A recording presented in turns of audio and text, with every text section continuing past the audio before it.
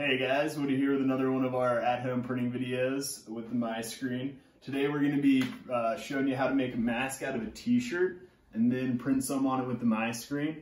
Uh, you know, everybody's looking for PPE equipment right now. Stuff might be opening up back up Friday, and so if you're uh, planning on going out, you're going to need it, and you know, you can't always get what you want, so we're going to be working with a t-shirt mask. Uh, big thanks to my cousin who sent this to me. Uh, she's like a rainbow, great person. And uh, Definitely try to keep up with what I'm saying, see if you can guess what we're printing first.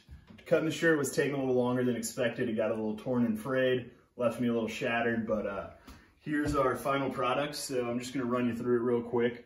Uh, essentially 18 inches by nine inches. That's your first cut right here to get this big rectangle.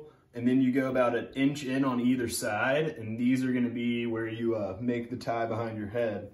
And so you go about an inch in on either side 10 inches up and make that cut there.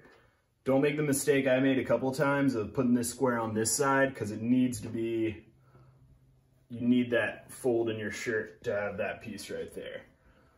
So now, next step, we're gonna go ahead and get to printing. I'm gonna send my image over. All right, it's ready to go. I'm gonna hold this down, just keep it under my thumb. And uh, great thing about this, it takes 30 seconds, no chemicals, emulsion, darkroom, or water. You don't even have to shine a light on it. So it makes everything really simple, really easy.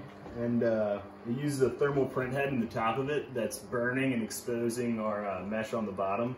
The mesh has a special heat sensitive coating, so that's how it's exposing it. And then there we go. My image is ready to go. So we're gonna pull this off, place this onto our print board, get it all lined up.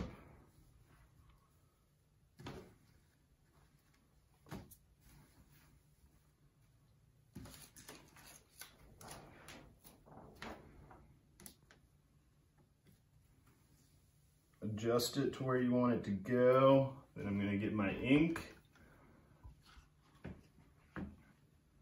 And we're just gonna paint it black here once I've got all my ink on there.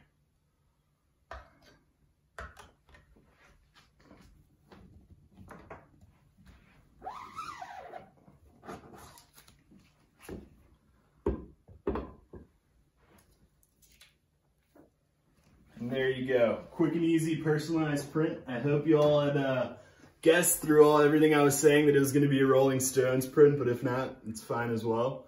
Uh, so yeah, that's how you make a quick and easy face mask. Uh, pretty simple and a great way to print on it. Great things to do here. Uh, definitely check us out tomorrow. We're going to be going live on Facebook, so there's going to be some good info there. Y'all have a good one.